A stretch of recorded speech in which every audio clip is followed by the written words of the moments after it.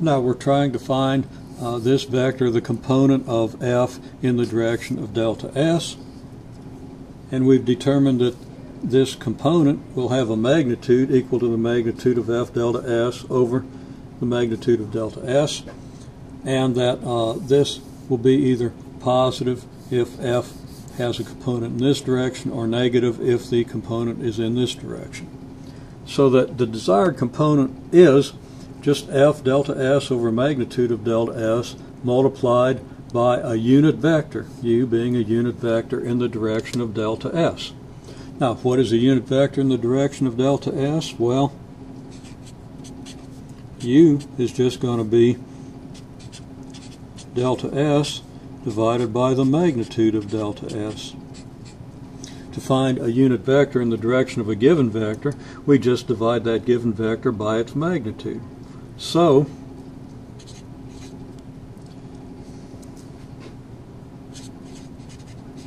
the component of f in the direction of delta s is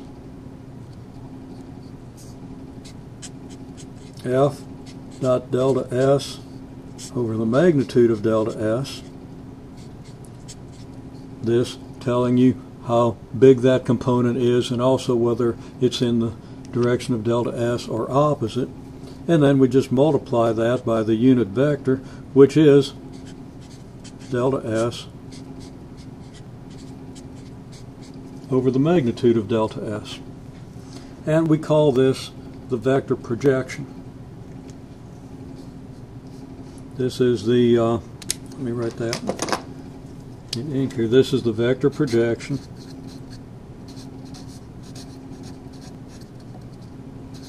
of F onto delta S. And we write that as PROJ for projection sub delta S of F. Projection onto delta S of F. That's what this vector tells us. Now this vector can be written as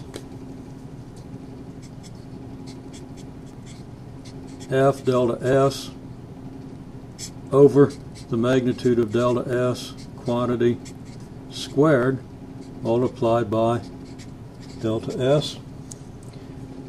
I prefer this notation because this expression can be traced back to the definition of the dot product and to the picture of this triangle, whereas this notation kind of obscures that.